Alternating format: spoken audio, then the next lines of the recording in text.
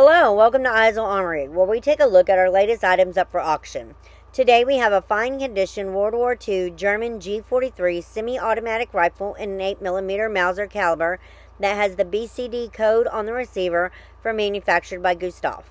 This rifle is not import marked and has all matching serial numbers including the receiver, bolt, and stock. The rifle is complete with an original ZF4 sniper scope on a very rare original matching numbered mount. The scope is marked with code DDX for manufactured by Voigtländer and has a nice clear optics and original blue finish. The mount has a clear engraved matching number and a Waffen Eagle 359 proof mark.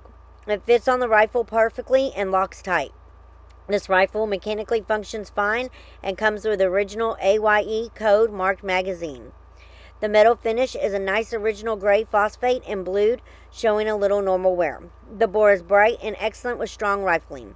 The stock has a nice original finish with crisp edges. The left side of the buttstock has two Waffenamts, and the underside of the buttstock has a sharp, clear matching serial number. Complete with the correct original cleaning rod and front side hood, this is a nice G43 rifle with a hard to find original ZF4 scope on a matching numbered mount.